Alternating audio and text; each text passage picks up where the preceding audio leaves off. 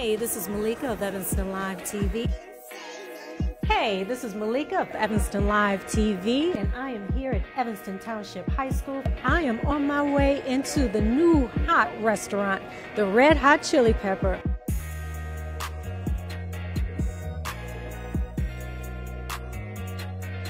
Hi, uh, my name is Devon Reid, and I'm running for city clerk here in Evanston.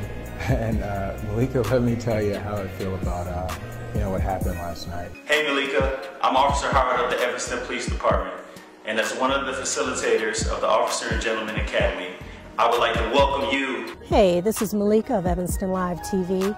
Hi, Alex. How are you? I'm good. How are you? Good. Good to see you again. You too. You too. So this is it, huh? yes. This is the famous Evanston Live TV car. It's just really good to be part of the community and the Shy family. Do you want to go into a little bit about your past, explain to people? This is Evanston Live TV. Hi, Meleika. Jan Schakowsky here, just elected to my uh, 10th term in the United States House of Representatives. Hey, this is Meleika with Evanston Live TV.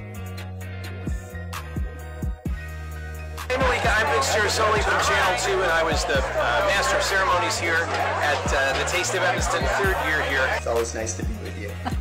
I'm Mayor Hagerty. Social media has been buzzing this morning. Evanston Live TV. You know, like a, a Donald Trump who says he can get away with anything.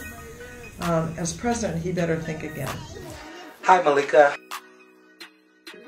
This morning, I mean, you, when people see you around Evanston, you get instant respect. It's almost like you're still the mayor.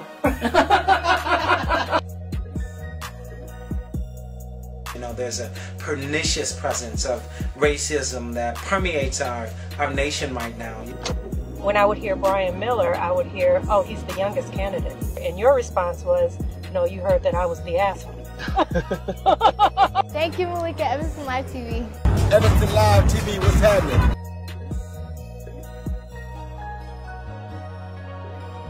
So check this out.